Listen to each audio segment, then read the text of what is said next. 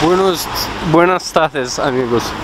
Yo estoy en la próximo a la Torre Eiffel, Eiffel y próximo a la plaza de, de Trocadero y aquí yo estoy filmando un, un poquito porque me encanta París, eh, me encanta la Francia. Eh, por ejemplo, ahora se hace eh, menos uh, 4 de grados, eh, la humedad del ar se hace eh, aproximadamente entre entre eh,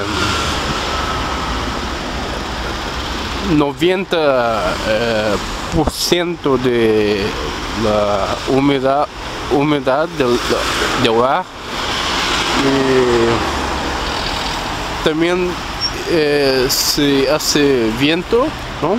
el viento se hace entre 10 grados 10 grados a,